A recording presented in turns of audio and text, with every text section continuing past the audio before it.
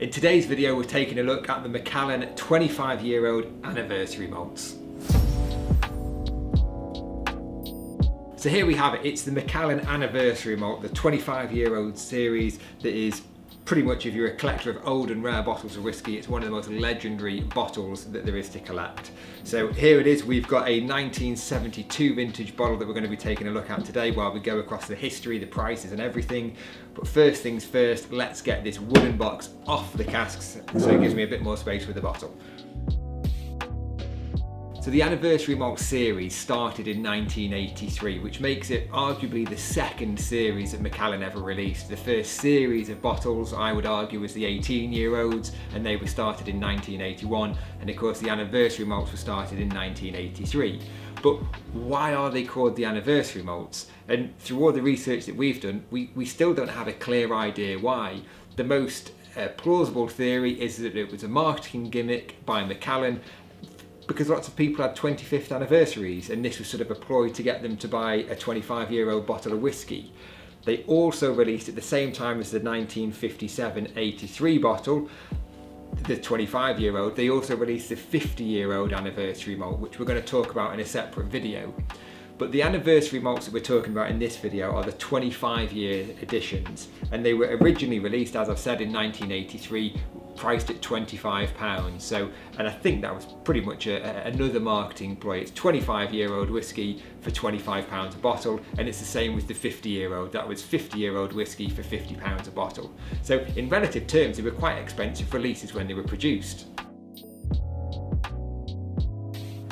From its beginnings in 1983, there were 18 anniversary malt editions 16 of these carried a vintage and two of these were non-vintage. We're going to talk a bit more about vintages in a moment, but the series ran until roughly the year 2000 and then in about 2004 Macallan introduced the Triple Oak series or the Triple Cask series which was a 25 year old bottling and that one went all the way through to about 2017 and then in 2018 the 25 year old series was sort of rebadged as the Sherry Oak. So it really has gone full circle over the last 38 years Macallan have been producing pretty much a 25 year old release every single year.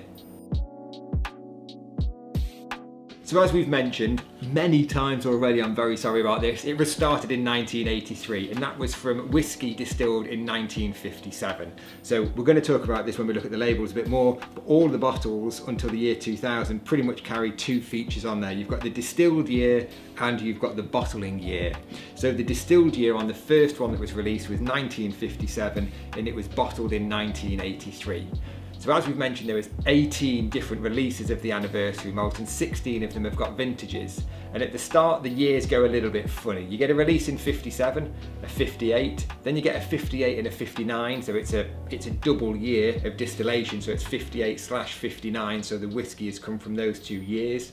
There wasn't any, dis, any bottles released in 1960 or 61 or bear the 1960 or 61 distillation date and neither was there a 1973 distillation date.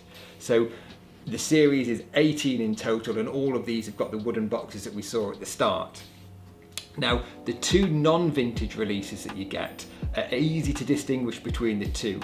This one is, is a much later one, so this is bottled at 70 centilitres. So the second version of the non-vintage bottling is bottled at 70 centilitres and it doesn't feature this distillation date or the bottling date. So you know that it was released post 1990 and it's argued that these are the ones that came out after the year 2000.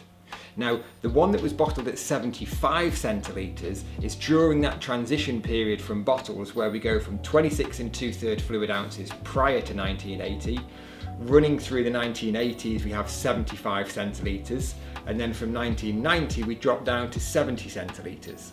So the 75 centilitre that doesn't have a distillation date or bottling date is argued to be the bottles that were released or should have been released with the 60-61 vintage in there, but maybe they just had half a cask from a different vintage in. And this is the point with this series, and this is what makes them so great. Not only are they a very high age statement, they're 25 years old, but they've got a distillation date on there and they've got a bottling date. Now those three features working together is quite a hard job for a distillery to, to sort of work with really. Because this one here, distilled in 1972, 25 years old and bottled in 1998 means that all the whiskey in this bottle has to have been distilled in that year, aged for 25 years and bottled in 1998. Now the change with, and we've got one here actually behind us, this is the 18 year old, they changed this to be the annual release. So the modern Sherry Oak series, it will be an annual release. It will say released in 2018 or bottled in 2018, bottled in 2019, bottled in 2020. 25 years, 18 years old. Now with just those two parameters, it's much easier for a distillery to produce that because they could use casks that were 100 years old if they needed to bulk up the volume because legally they're not breaking any of the Scotch Whisky Association guidelines because the, the whiskey is 25 years old and it was all bottled in this same year. If you put in this distillation date, then it means that you're only limited to casks from this year. So it makes it much harder. So these bottles with vintages, distillation dates and age statements are very uncommon in big series now from distilleries. And it's another reason why this is probably one of the best bottles, in my opinion, that you could be investing or collecting.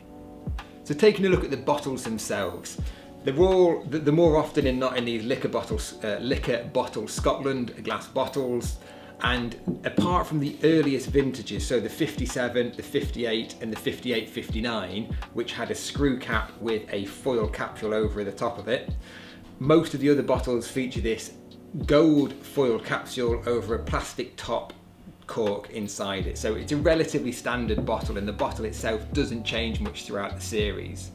Now, the label itself is printed on this laid paper. So laid, it means that it's like a ribbed sort of paper.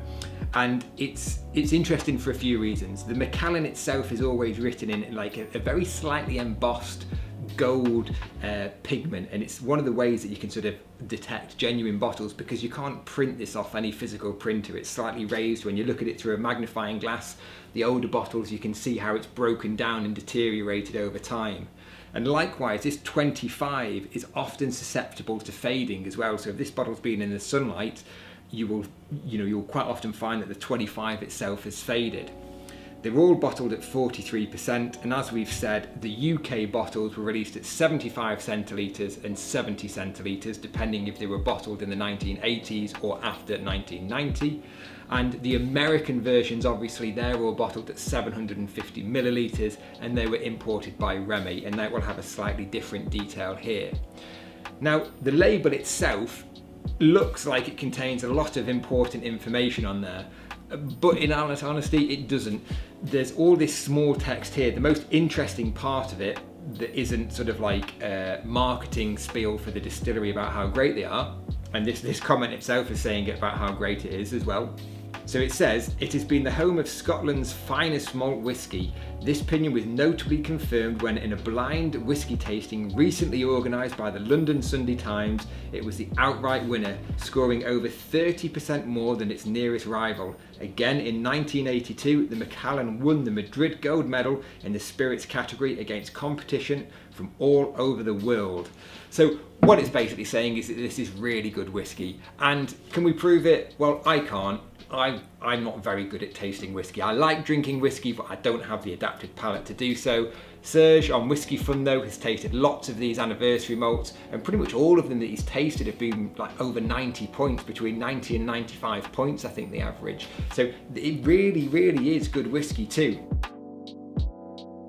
So it's got a back label as well. It's got a little bit of text in here. Again, it echoes more of the same on the front. And essentially this talk on the front is about the quality of the sherry casks that they use. So all of the anniversary malts come in these fantastic, I say fantastic, they're actually really cheaply made pine boxes. So they're pretty rugged.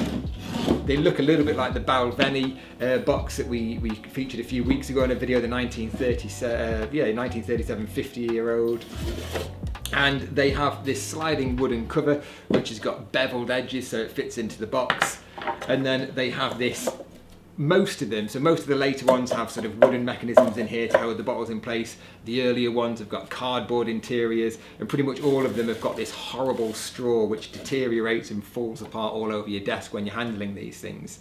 So, and that's what the appeal is to me about the anniversary malts. It's they're, they're a really nicely presented bottle. And the fact that you can build a vertical of them, so you can build a 57, a 58, a 58, 59, you know, you can complete the whole set of 18 bottles in these wooden boxes. And it's a fantastic sight. If you ever see a full vertical of these, they're absolutely amazing. And it's, yes, this isn't quite the presentation of the folios and the other modern box, you know, boxes that they produce now, but this is where it all began. You know, these, this series has been running for, well, ran 38 years old now, this series that began in 1983. So they really are iconic and old collectible bottles. And that brings me on to my final point about these. If you're looking to buy and invest in whiskey, then why the hell are people spending nine grand on Macallan Folio 1 or the Edition series and things like that? It's nonsense. You know, these are modern, no age statement bottles most of the anniversary malts can be bought for less than £5,000 each. You know, yes, it's a lot of money, but it's a damn sight better value than the folios. It's 25 years old. Most of it is vintaged and age statemented as well, with the bottling date on there. And if you're looking to build a genuinely good collection that's going to hold its value over the years, and why do I say it's going to hold its value? Well, we've got 20, 30 years worth of auction data to see how these bottles have been growing. So two sites that we recommend for looking at your auction data, Rare Whisky 101, and they've got an index of all the Macallan 25 years old, so you can see how the growth has been going. It's about 2012 that index started. You know, you compare that to say Folio 1, which has just basically gone bananas in the last few weeks and months really this has got a lot more pedigree and heritage behind it, whereas the folios and these other no age statement nonsense bottles just don't. So if you're looking to buy or start a collection, you could do much worse and start with the Macallan 25 year old anniversary malt series. We've normally got Macallan 25 year old anniversary malts available on our shop, so head to marklittler.com to see what we've got available.